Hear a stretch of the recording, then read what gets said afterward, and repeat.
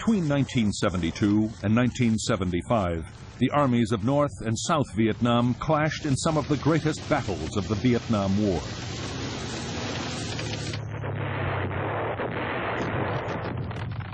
Twice in three years, the government of the North launched full-scale attacks against the American-backed South.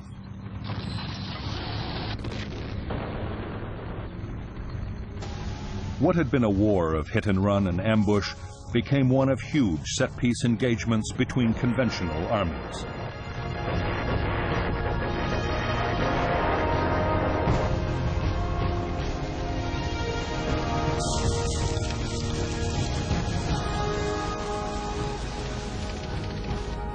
The South Vietnamese army, backed by American air power, repelled the North's first onslaught.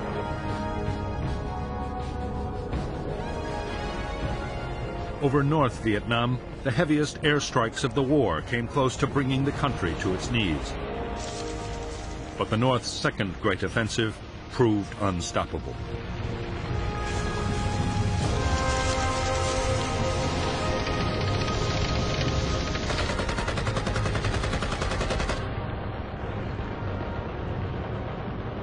The American strategy had been to arm and train the South Vietnamese to defend themselves.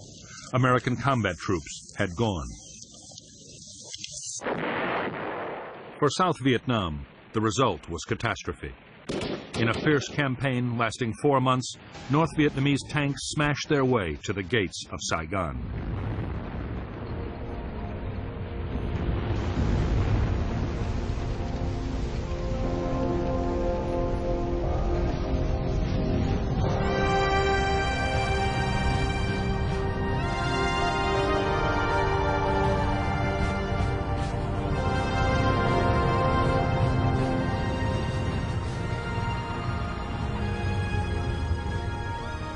Hanoi's strategy for 1969 was to keep up the pressure in South Vietnam. While negotiations were going on in Paris, they meant to improve their position on the battlefield.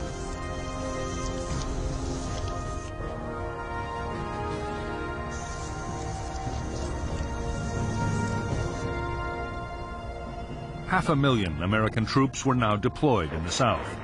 In February 1969, in an echo of the Tet Offensive the previous year, their bases were the targets of a major Viet Cong offensive. 1,140 Americans died. The newly inaugurated President Richard Nixon and his national security advisor Henry Kissinger immediately ordered retaliation. American B-52 bombers dropped half a million tons of bombs on Viet Cong base areas along the Vietnam-Cambodia border in a secret campaign codenamed Menu. Congress was not informed, and the flight logs and target destinations were falsified to hide the fact that the bombs were falling on Cambodia, a neutral country. At the same time, U.S. and South Vietnamese troops began to advance towards the Cambodian border.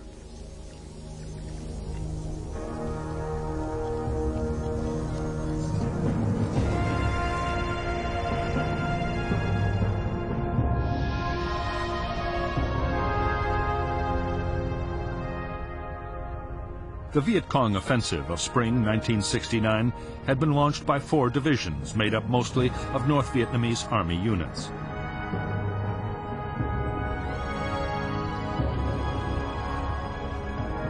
After bitter fighting, the NVA battalions pulled back.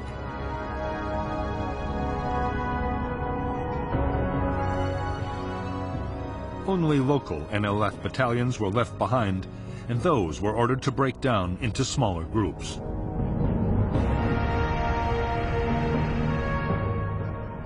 In turn, big American units were also broken down and spread out over a wider area of countryside.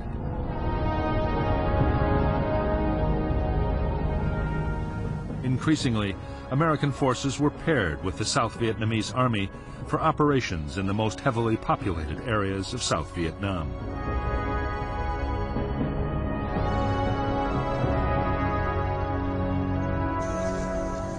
In April 1969, a gruesome benchmark was reached which added to the pressure for Vietnamization. U.S. combat deaths surpassed the 33,629 men killed throughout the Korean War. Increasingly, the U.S. felt it had to ensure that the South Vietnamese army would take control of the war for themselves. The American plan was to help the South Vietnamese government regain control over vast areas of the countryside. The populated areas were swamped with patrols trying to find an increasingly elusive enemy. Often the aim was to draw the Viet Cong into attacking a small unit and then hit back with massive airstrikes and attacks by helicopter gunships. The new kind of war being fought in and around the villages was enormously destructive. American firepower caused heavy civilian casualties and widespread damage. For the NLF guerrillas, the second half of 1969 was a nightmarish ordeal. In less than two years, their casualties had been more than 70% in many areas. Food was desperately short as support from the villages faded away and American patrols interfered with supplies.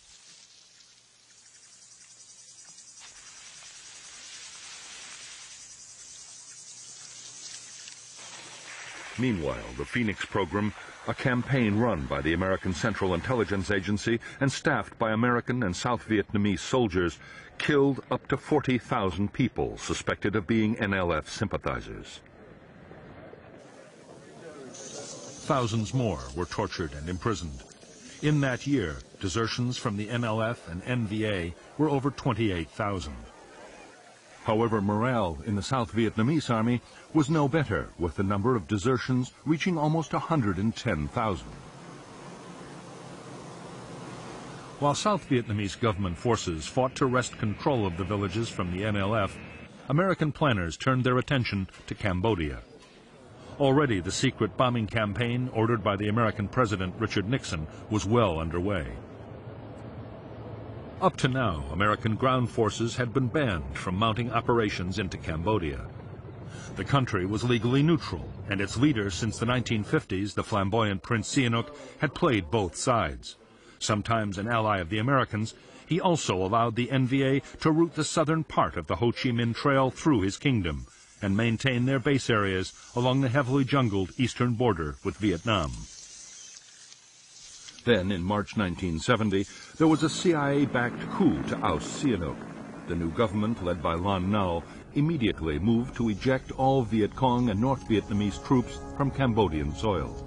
Operations by the Americans and the South Vietnamese would follow.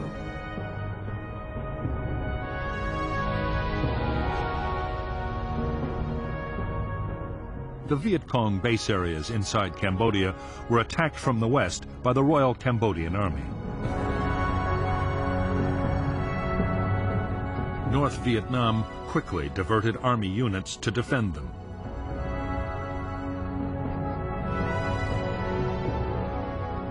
And with the help of the Cambodian guerrillas, the Khmer Rouge, they halted the Cambodian government advance.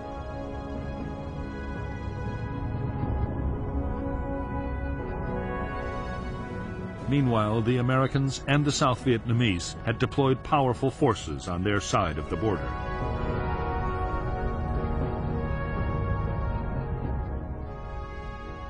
On April 29, 1970, South Vietnamese troops attacked into Cambodia, pushing towards the Viet Cong bases. Two days later, the U.S. force of 30,000, including elements of three U.S. divisions, mounted a second attack. The next target was a base area in the Sesam Valley. Soon after, more assaults were mounted further south.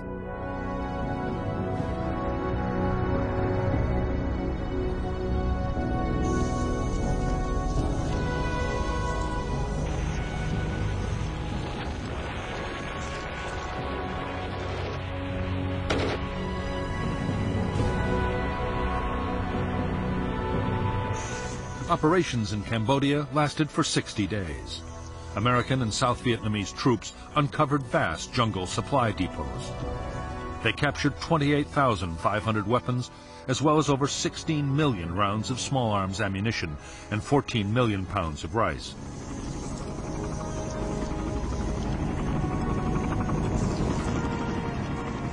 Although most Viet Cong troops had managed to escape across the Mekong, there were over 10,000 NVA and NLF casualties. However, when the South Vietnamese commander was killed in a helicopter crash, his forces withdrew. When news of the Cambodian incursion broke in the United States, there was public outcry. Many believed that in spite of President Nixon's promises to get out of Vietnam, he meant to expand the war.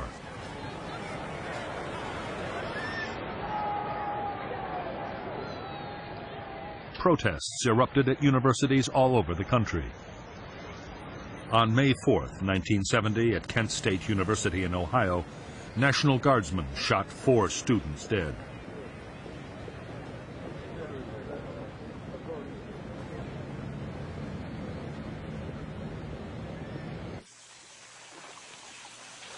The deep divisions about the U.S. role in Southeast Asia were having a powerful effect on American troops in Vietnam.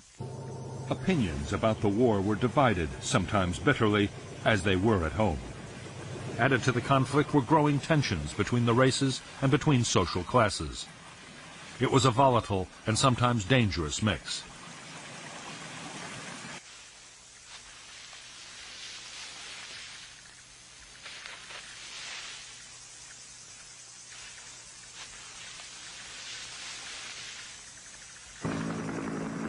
By now, there were few career sergeants and officers still to serve their tours in Vietnam. Down to Romeo, we can move back down to the Whiskey on the Romeo and make a three-shipper in a hurry. Much of the burden of maintaining discipline was falling on newly promoted and often inexperienced leaders. Between 1969 and 1971, the U.S. Army would record more than 700 attacks by troops on their officers. 83 officers were killed and almost 650 were injured. Many attacks were by fragmentation grenades rolled into the victim's tent, a practice known as fragging. The whole discipline problem was aggravated by widespread drug abuse.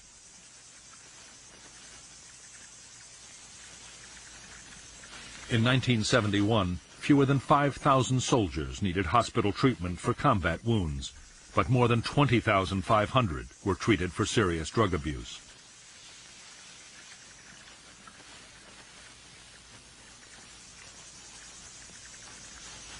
By this time, it was plain to most soldiers that the United States would pull out of Vietnam. 100,000 troops had been withdrawn, and Nixon had promised another 150,000 would leave within a year. No one wanted to be the last American soldier to die in Southeast Asia.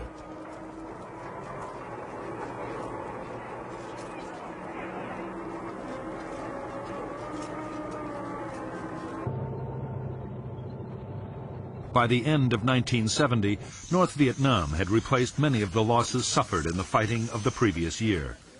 Their leaders were intent on launching a new campaign, and floods of men and supplies were being sent down the Ho Chi Minh Trail through Laos and Cambodia to South Vietnam.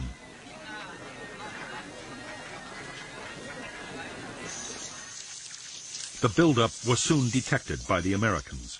U.S. commanders begged for permission to attack into Laos and once and for all destroy the supply lines down the Ho Chi Minh Trail.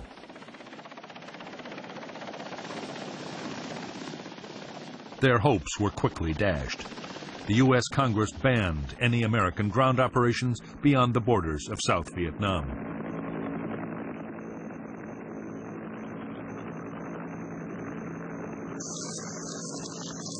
This time, Saigon's forces would have to go it alone. If successful, the administration argued, they would gain two years in which to build the South Vietnamese army.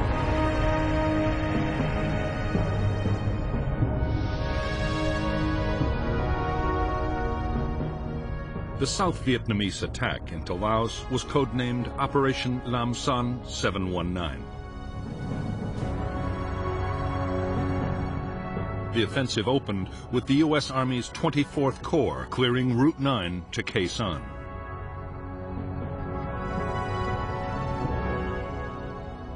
On February 8, 1971, three South Vietnamese Army divisions, about 17,000 men, supported by armor and a ranger group, attacked across the border. However, they were advancing into an NVA trap, carefully planned and with well-coordinated defenses. The targets were two major North Vietnamese Army bases, known as 611 and 604. They were defended by over 40,000 combat troops. The South Vietnamese had established a series of fire bases to protect their flanks. The NVA launched fierce counterattacks against these bases and the main advance with T-54 tanks employed for the first time and 130mm guns. Other NVA units moved to cut Route 9, trying to encircle the invading column.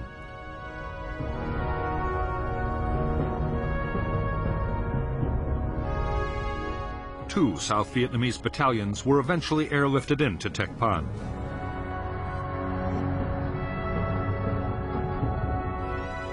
President Thieu assumed command of what became a disastrous operation. And on March 8th, he ordered a retreat. It became a rout.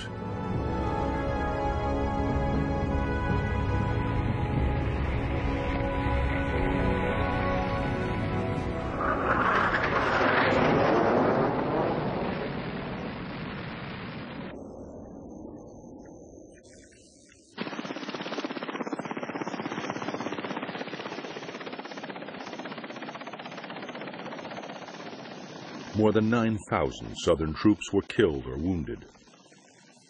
They lost two-thirds of their armored vehicles, and large numbers of helicopters and planes were destroyed or damaged.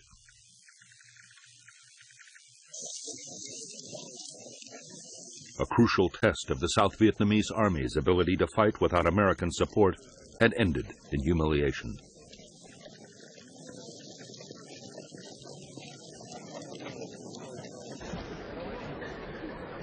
Although the North Vietnamese had crushed the southern offensive, they too had suffered casualties. Defending their bases in Laos and in Cambodia the year before had cost thousands of dead and many vehicles and guns destroyed. Viet Cong units were now ordered to avoid major actions while they rebuilt their strength.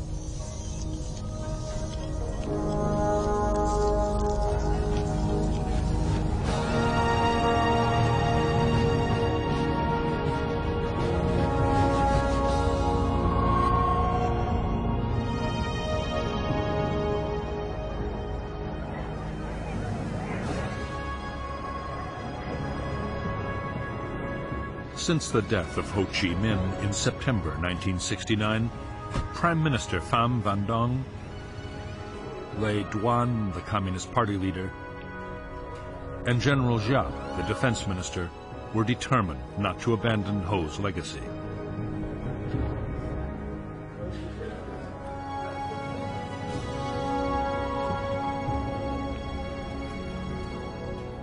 The struggle to reunite North and South Vietnam would go on, whatever the cost.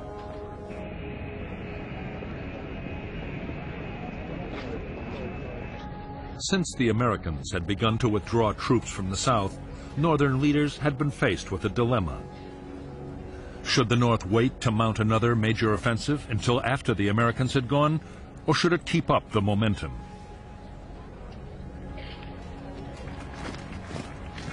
In May 1971, the Politburo instructed General Giap to prepare a new campaign.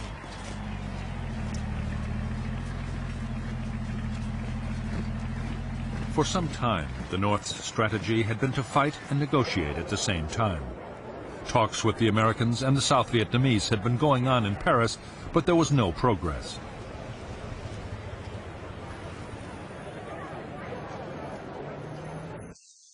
Northern leaders now believed that a victory on the battlefield might break the stalemate. At the very least, it could prove to the Americans that their policy of Vietnamization was not going to save the South.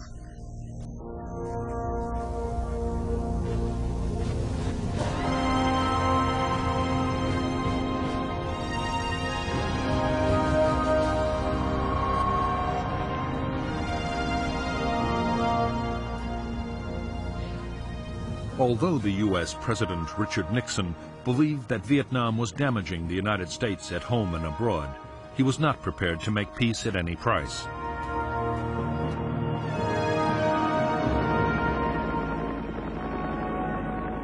Nixon feared a climb down would dangerously weaken America's credibility as an ally in the eyes of the world.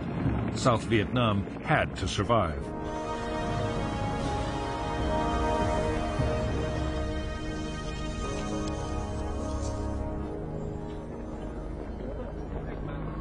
As well as the formal peace negotiations in Paris, there were also secret meetings between Henry Kissinger, Nixon's national security advisor, and the North Vietnamese.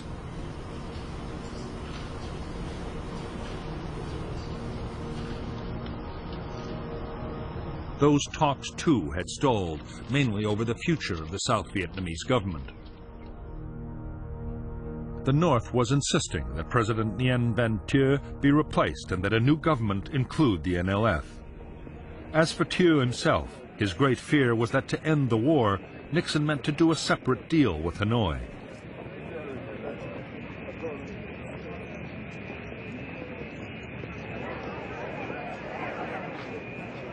In fact, Nixon and his advisor, Henry Kissinger, were looking not to North Vietnam, but to Moscow and Beijing.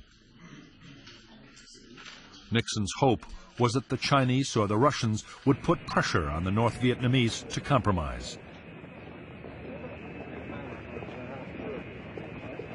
In February 1972, he embarked on the first visit by an American president to Communist China.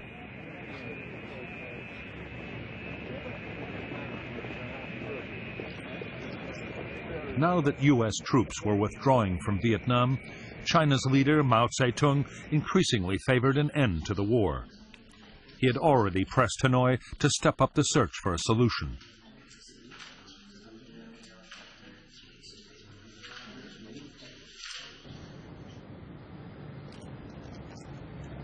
Neither Nixon nor his advisers were aware of it, but because of centuries of mistrust, North Vietnam had no intention of listening to the Chinese.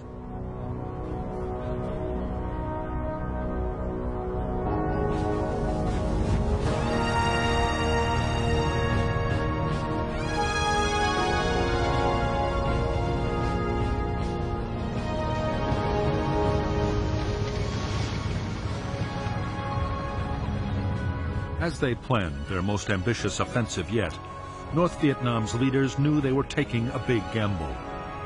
There would still be U.S. troops in South Vietnam which could easily be reinforced.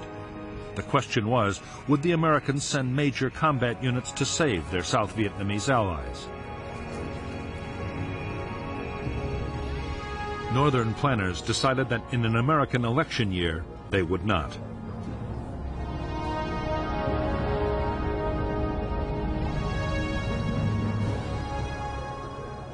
The success of the coming campaign would depend on assembling huge quantities of weapons and supplies. That meant more aid from both the Soviet Union and China.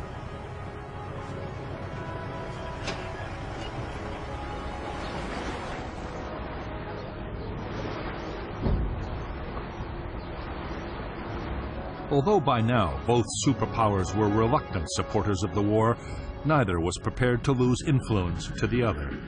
As a result, the North succeeded in getting increased arms deliveries from both Moscow and Beijing.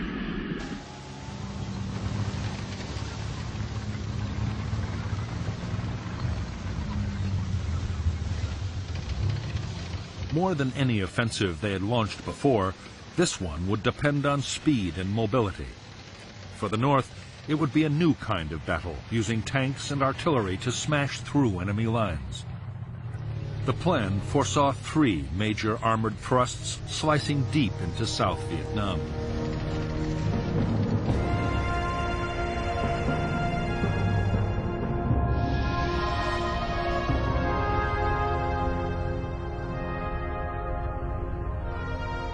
The first North Vietnamese attack would cross the demilitarized zone separating North and South and push east from Laos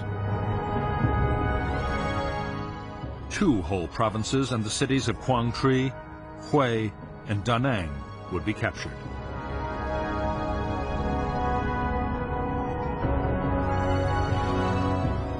The second thrust would attack through the central highlands to the coast at Qui Nhon.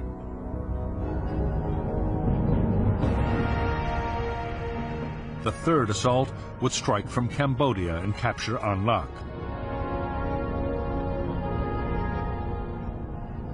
There, a provisional revolutionary government would be established for the South. If resistance was still light, units would press on and capture the capital, Saigon.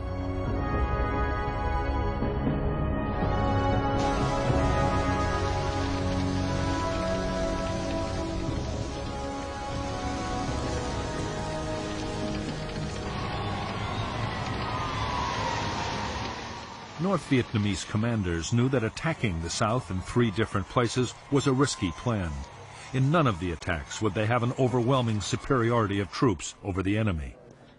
However, General Giap believed that multiple thrusts would keep the South guessing about what might come next.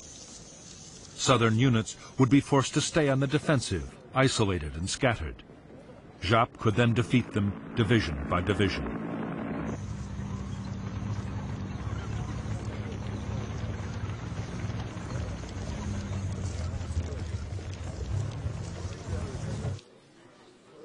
Northern leaders calculated that even limited success would leave the NVA in control of large areas of South Vietnam.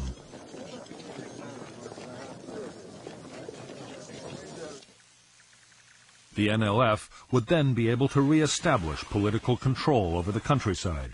Such gains would be a serious challenge to the Saigon government. At the same time, the North's bargaining position in future negotiations would be improved dramatically.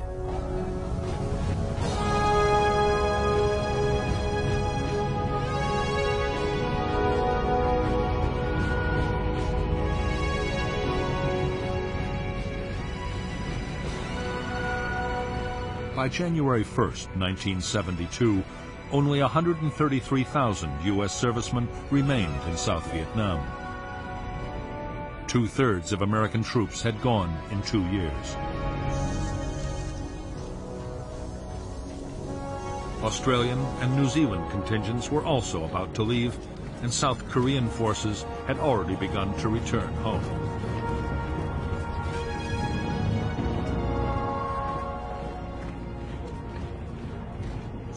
The ground war was now almost exclusively the province of the South Vietnamese Army.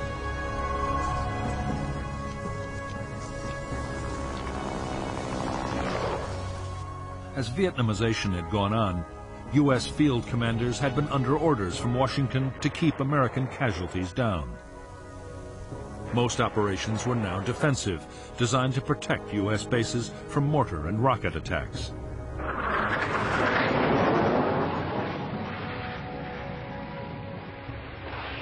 American air power was also being used in a different way. U.S. fighter bombers were still mounting vigorous attacks on the Ho Chi Minh Trail in Laos. More than 70,000 sorties in 1971.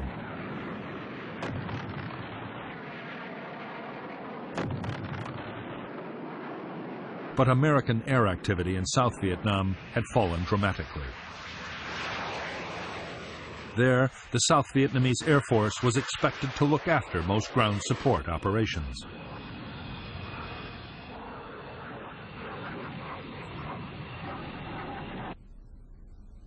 South Vietnam's strategy for defending against attack had been devised by President Thieu himself.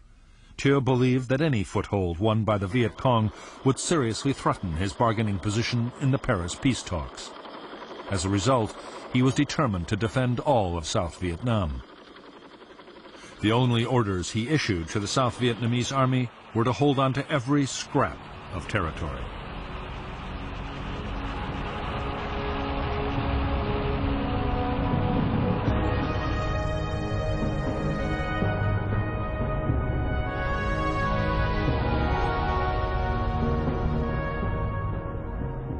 The front line of the South Vietnamese Army's defense was a string of forts and outposts along the borders. Behind the forts were the army divisions, but each was responsible only for the defense of territory around its own base.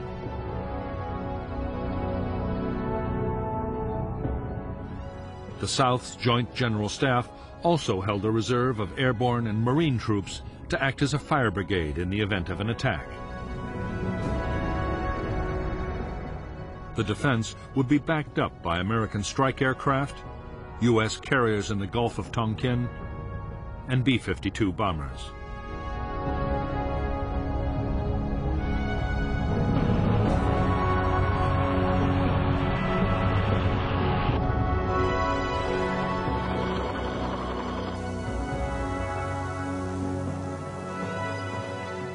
For years, the United States had pressed President Thieu to improve the lot of the South Vietnamese people. Only then, the argument went, could support for the NLF in the countryside be undermined. By early 1972, Thieu had begun to introduce some of the reforms the Americans had wanted. Thieu introduced a program to give peasants ownership of the land they tilled. A school was established to train local headmen to administer their villages.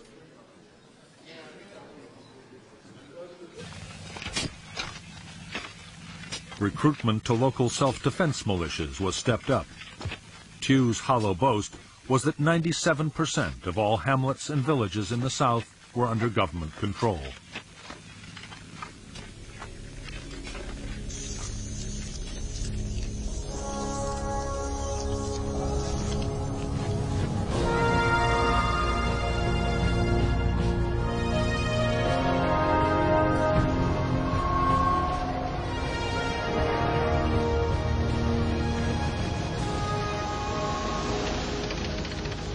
By the eve of the planned offensive named Operation Nguyen Hue after an 18th century national hero, the North Vietnamese army had been transformed. It now had fully equipped armored regiments. Artillery forces had been strengthened. From weapons to radios, all the frontline divisions were better equipped than ever before.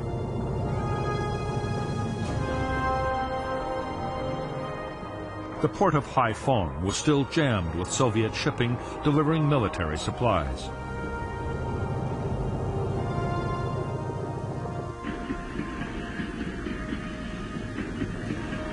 With the American bombing of North Vietnam long over, trains loaded with troops, tanks, and field guns could move with no risk from attack.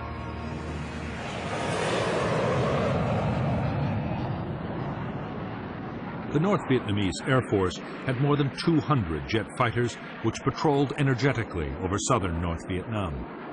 But they rarely flew over the supply trails in Laos where American aircraft were most active. Nor would they play any direct part in the planned offensive.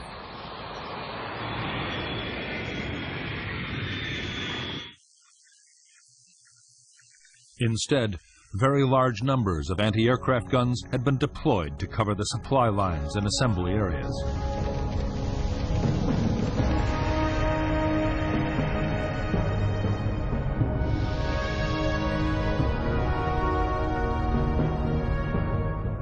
Above the demilitarized zone, General Giap deployed two divisions, including the elite 308th and three independent infantry regiments.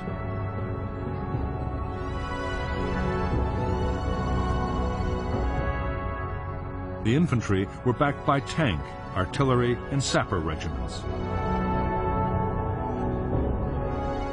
Another division was poised in Laos, opposite the former U.S. base at Khe Sanh.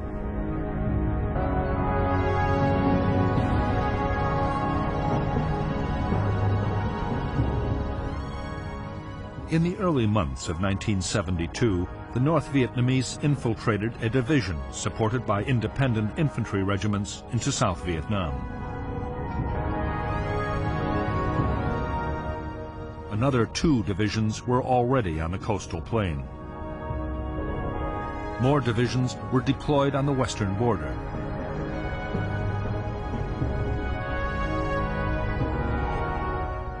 Further south, another formation threatened the Mekong Delta.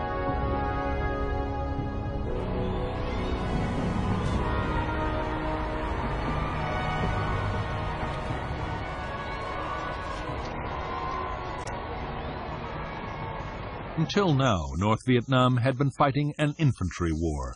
Its army in the field could maintain its operations as long as food and ammunition lasted. The coming offensive would be very different. A modern conventional battle of firepower and maneuver would pose a whole range of completely new problems.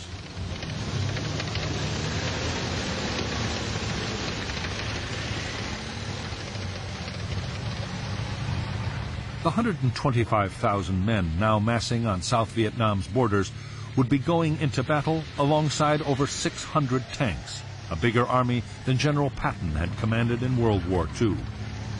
The tanks would consume huge quantities of fuel and ammunition. The infantry would have to keep up with the armor, and that meant large numbers of trucks. The battle would move fast, putting strains on the communication and command systems unlike anything the Army had met before.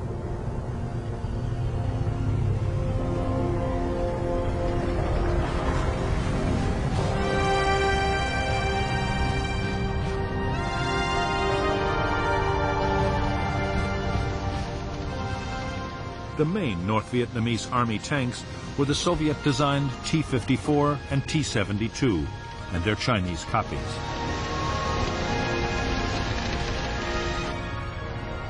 They were armed with a powerful 100 millimeter gun and were highly robust vehicles, easy to maintain on the battlefield.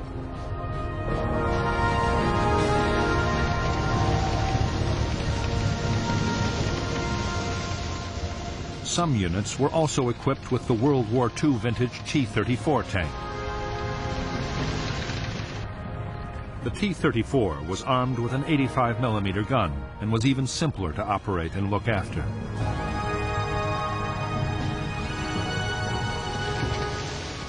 Like the T-55, it could fire either armor-piercing or high-explosive shells.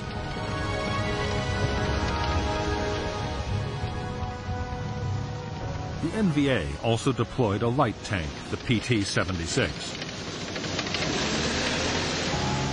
It was armed with a 76 millimeter gun and it was amphibious. The ability to cross rivers and canals would make it a specially valuable weapon in the lowlands of South Vietnam.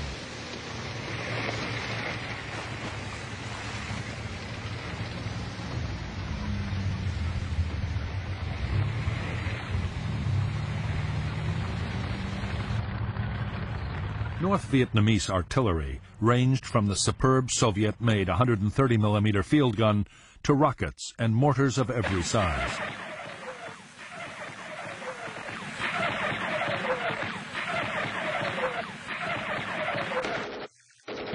All infantry units had their own air defense artillery and machine guns. There were also specialist air defense units.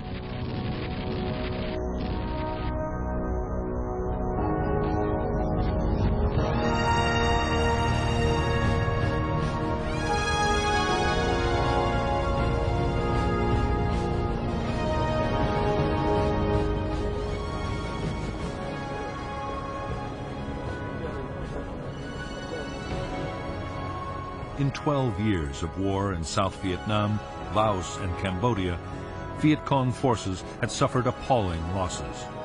By early 1972, over 600,000 North Vietnamese Army troops and NLF had died. As well as those killed in battle, many thousands had perished from disease and American air attacks on the long journey down the Ho Chi Minh Trail.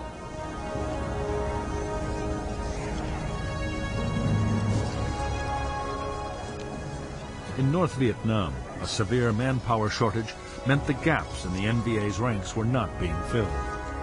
In the three months before the spring offensive, every male between the ages of 14 and 45 was called up. For the first time, the ranks of draftees even included the relatives of senior party officials.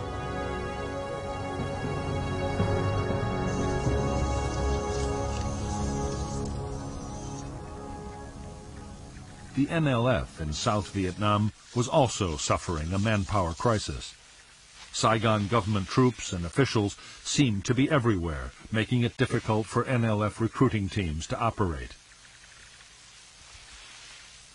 Even the ranks of local guerrilla units were being boosted by North Vietnamese regular troops.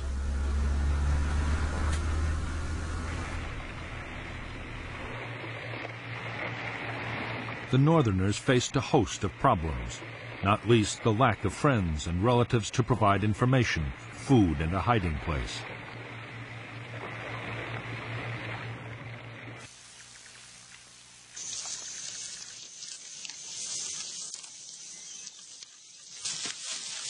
The ever-increasing dominance of the North Vietnamese over the NLF was causing real tensions in Viet Cong units. Many NLF members believed the North no longer saw them as equal partners. There was a growing fear that once victory was achieved, Northerners would simply take over the South. In every unit, political officers worked hard to ease friction between NVA troops and their Southern comrades.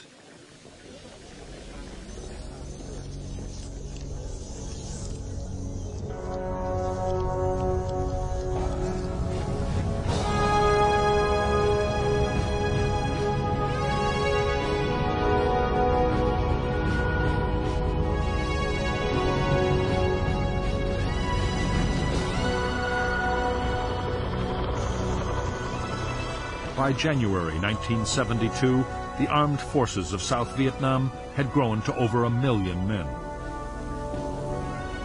The Americans' Vietnamization program was in full swing, with a massive equipment and training effort. The Army's supply and logistics system was also being built up to cope with a whole new scale of operations.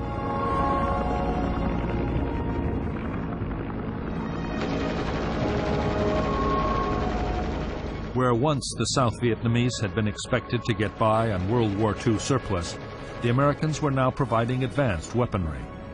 The infantry got nearly a million M16 rifles and 20,000 machine guns. Heavy weapons included 400 new tanks and 2,000 howitzers, while the Air Force was built up to 2,000 planes it would soon be the fourth largest air force in the world.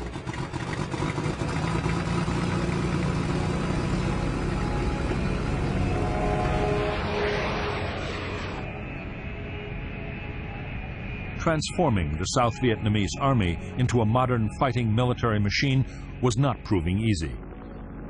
American tanks, helicopters, and aircraft arrived with their maintenance manuals in English.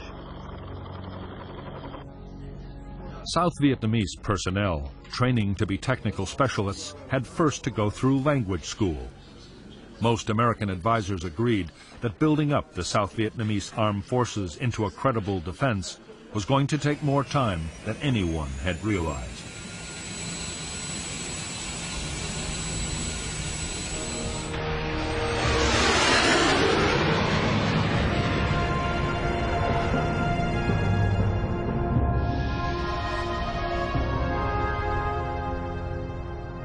South Vietnam was divided into four military regions, each the responsibility of an Army Corps.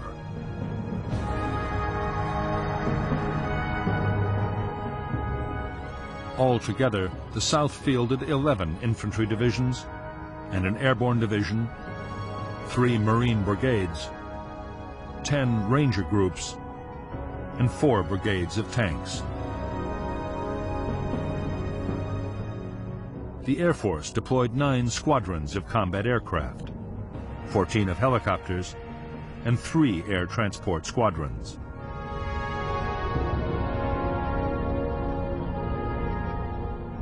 U.S. Army combat forces were now down to a handful of units at Da Nang, around Saigon, and at Tho in the Delta.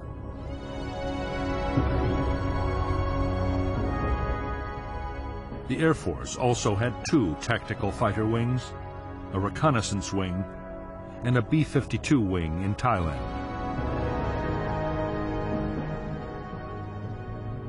The Navy carriers Hancock and Coral Sea were still on Yankee Station in the Gulf of Tonkin.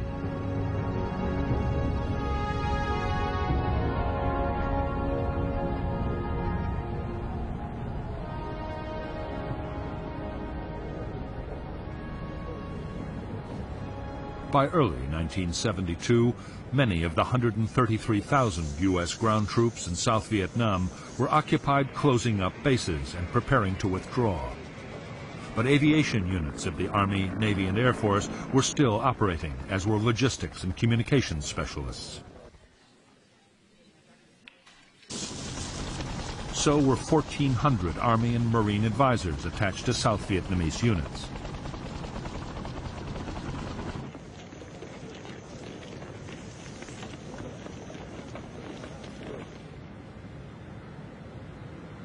In spite of American protests, most of the South Vietnamese Army's infantry divisions were static defense forces.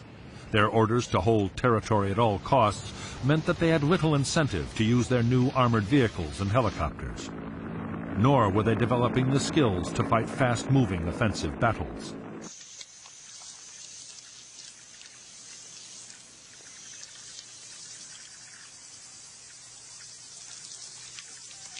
Because the Army's infantry divisions had their own territory to defend, they had grown increasingly settled. The divisional bases were soon surrounded by shanty towns as soldiers' families set up home close by.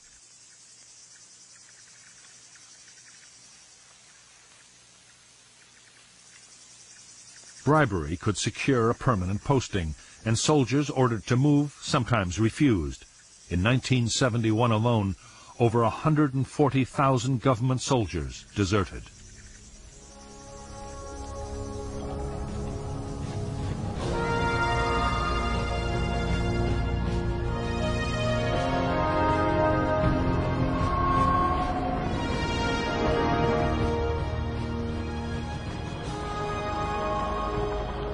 In the battles ahead, Southern forces would be faced with large North Vietnamese armored formations for the first time in the war.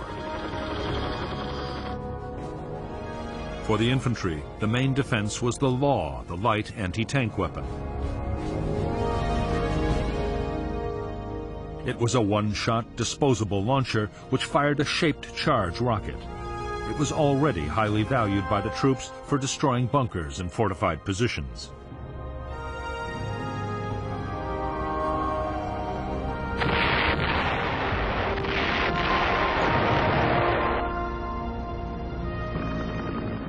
It was the Americans who still had the most mobile and powerful anti-tank defense. The TOW was a wire-guided anti-tank missile, often mounted on a helicopter gunship. It had a range of more than 3,000 meters and was highly accurate.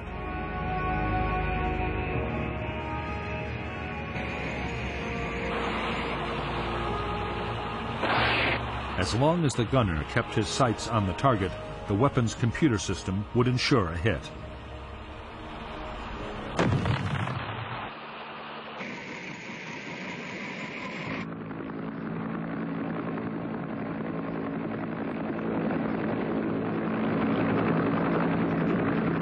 The most effective helicopter gunship in American service was the Huey Cobra. It was a revolutionary design. The gunner sat in front with the pilot above and behind. The Cobra was fast, able to fly at over 200 miles per hour and highly maneuverable.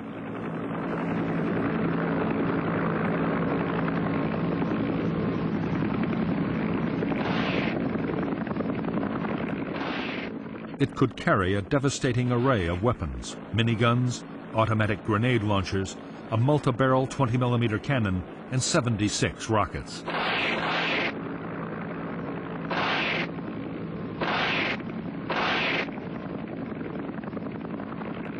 American gunships and the South Vietnamese Air Force's attack planes would provide most of the support for ground troops. However, vastly more destructive American air power was always present in the background.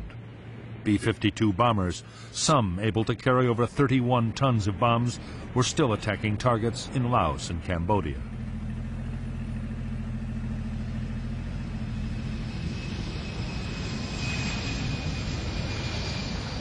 The Americans also had the most advanced supersonic strike aircraft in the world.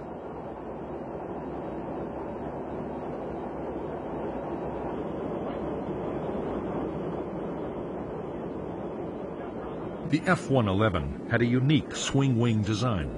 With the wings extended, it could make low-speed landings. In swept-back configuration, it could fly at 1,600 miles an hour. The F-111 had advanced computer navigation and could bomb targets at night and in the worst weather.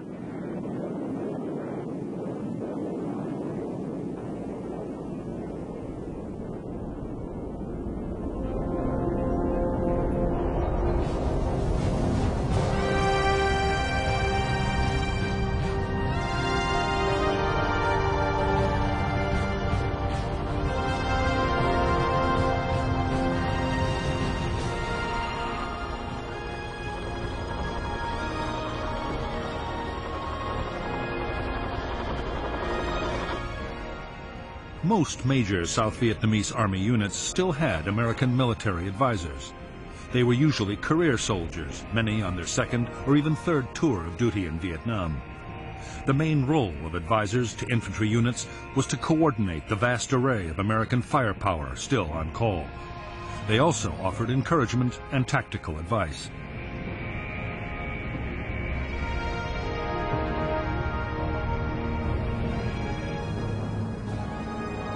In some units, the advisor's presence had an unforeseen drawback.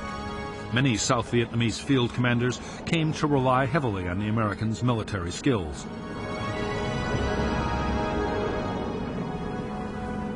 As the months went on and advisors were gradually withdrawn, large numbers of South Vietnamese officers would find themselves unable to command on their own.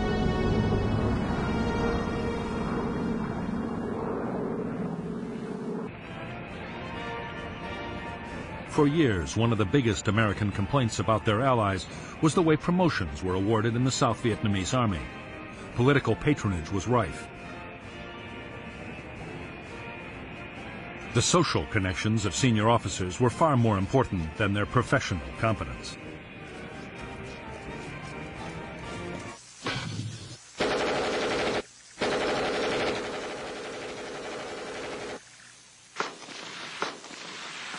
There was one unexpected plus in the way that South Vietnamese army promotions worked. Officers lacking political influence could stay in combat units for years. As a result, by 1972, many of the South Vietnamese Army's frontline formations were led by highly experienced and battle-hardened men.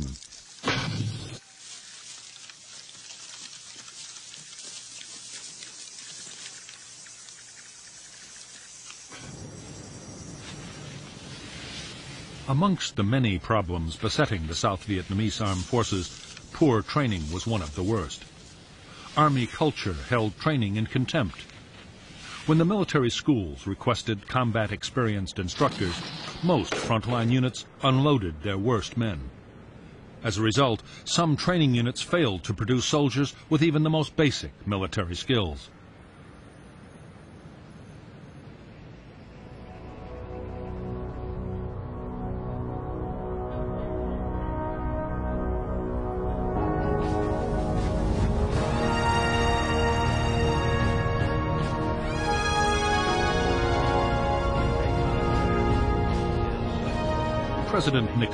Meant to follow his triumphant visit to China by next going to Moscow.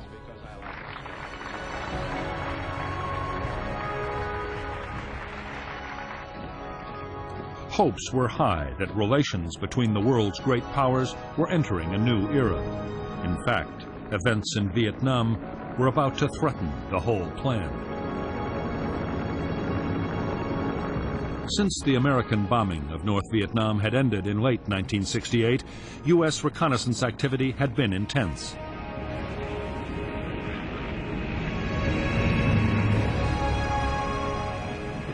As well as conventional reconnaissance planes, the Americans deployed the top-secret Blackbird. The SR-71 could fly at 2,000 miles an hour and operate at 70,000 feet, well above anti-aircraft defenses.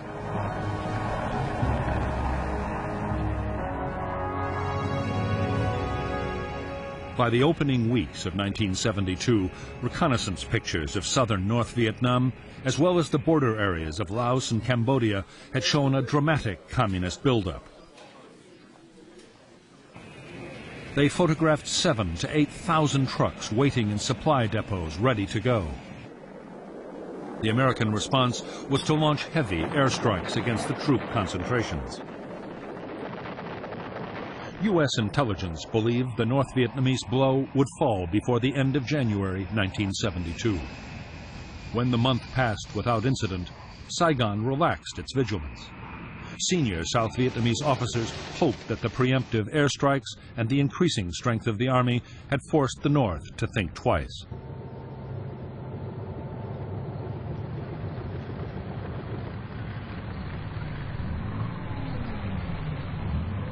So confident were the Americans that the U.S. Defense Secretary, Melvin Laird, told Congress that a major communist offensive was not a serious possibility.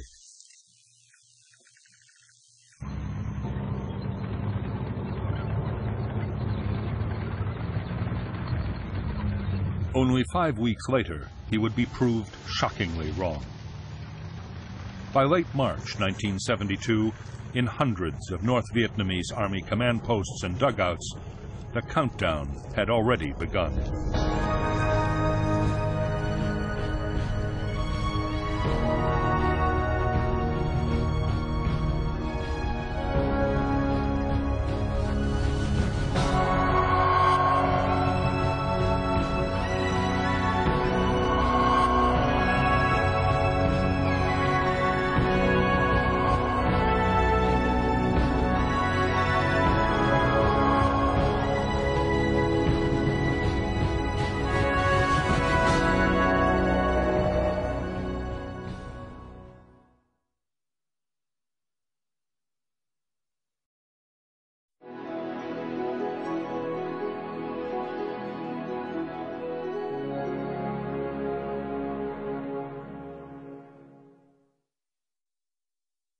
Campaign codenamed Menu. Congress was not informed, and the flight logs and target destinations were falsified to hide the fact that the bombs were falling on Cambodia, a neutral country. At the same time, U.S. and South Vietnamese troops began to advance towards the Cambodian border.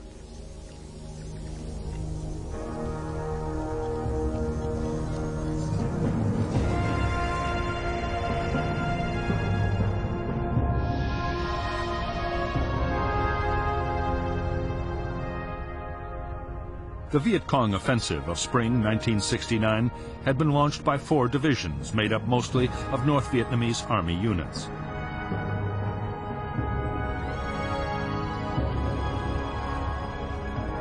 After bitter fighting, the NVA battalions pulled back.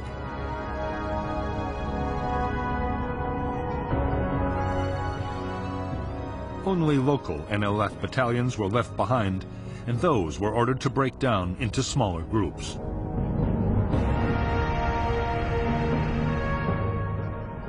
In turn, big American units were also broken down and spread out over a wider area of countryside.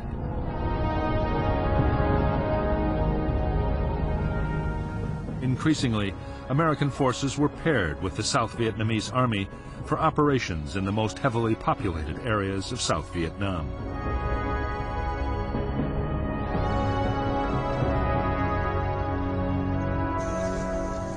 In April 1969, a gruesome benchmark was reached which added to the pressure for Vietnamization.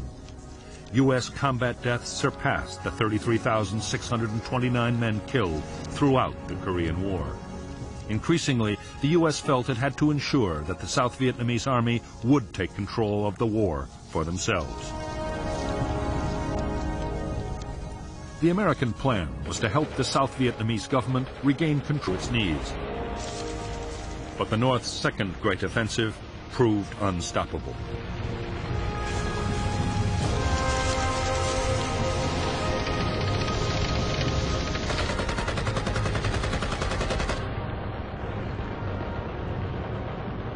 The American strategy had been to arm and train the South Vietnamese to defend themselves. American combat troops had gone. For South Vietnam, the result was catastrophe. In a fierce campaign lasting four months, North Vietnamese tanks smashed their way to the gates of Saigon.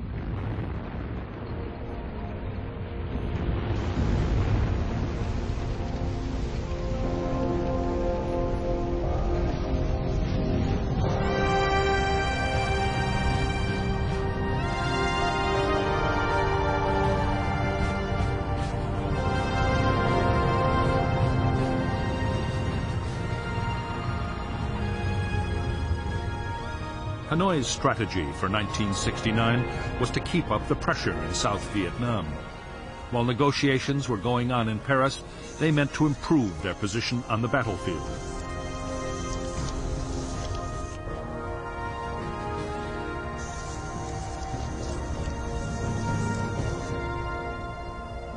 Half a million American troops were now deployed in the South. February 1969, in an echo of the Tet Offensive the previous year, their bases were the targets of a major Viet Cong offensive. 1,140 Americans died. The newly inaugurated President Richard Nixon and his national security advisor Henry Kissinger immediately ordered retaliation.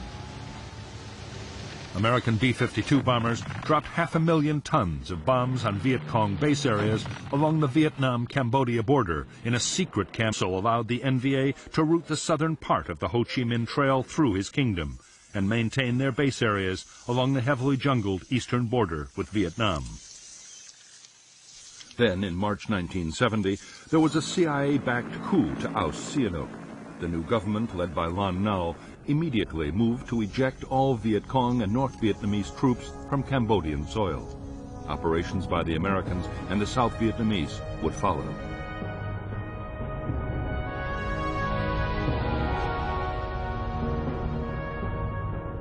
The Viet Cong base areas inside Cambodia were attacked from the west by the Royal Cambodian Army. North Vietnam quickly diverted army units to defend them.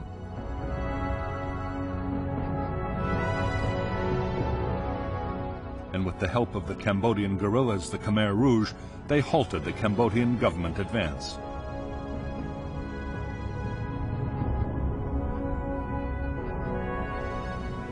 Meanwhile, the Americans and the South Vietnamese had deployed powerful forces on their side of the border.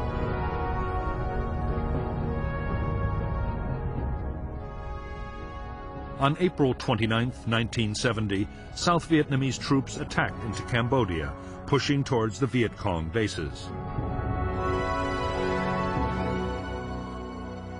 Two days later, the U.S. force of 30,000, including elements of three U.S. divisions, mounted a second attack. The next target was a base area in the Se San Valley.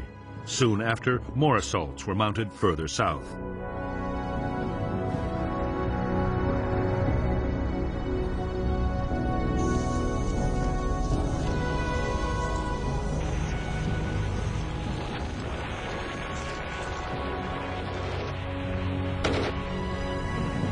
Control over vast areas of the countryside. The populated areas were swamped with patrols trying to find an increasingly elusive enemy. Often the aim was to draw the Viet Cong into attacking a small unit and then hit back with massive airstrikes and attacks by helicopter gunships. The new kind of war being fought in and around the villages was enormously destructive. American firepower caused heavy civilian casualties and widespread damage. For the NLF guerrillas, the second half of 1969 was a nightmarish ordeal. In less than two years, their casualties had been more than 70% in many areas. Food was desperately short as support from the villages faded away, and American patrols interfered with supplies.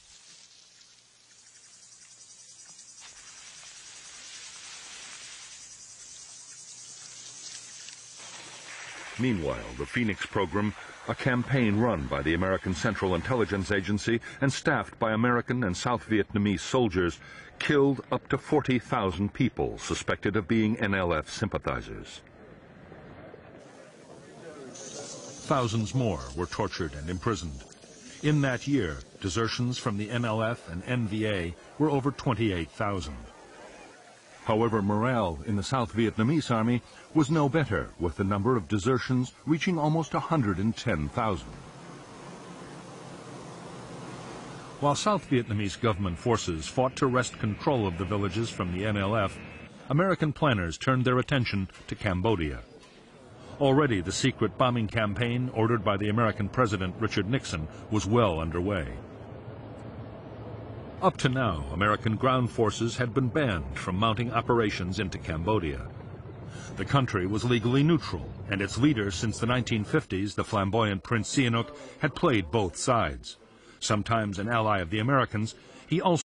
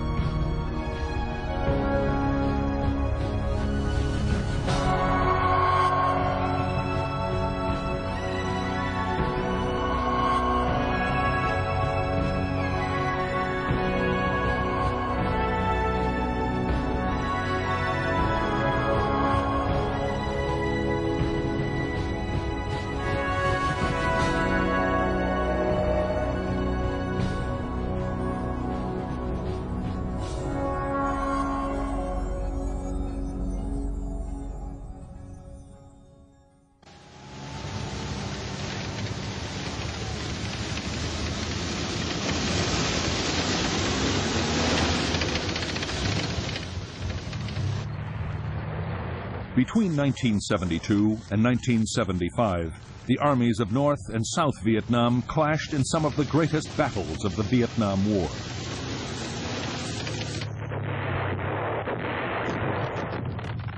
Twice in three years, the government of the North launched full-scale attacks against the American-backed South.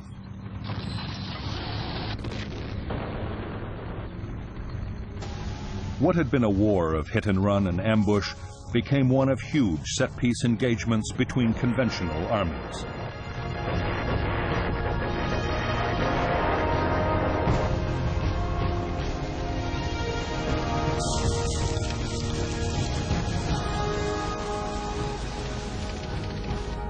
The South Vietnamese army, backed by American air power, repelled the North's first onslaught.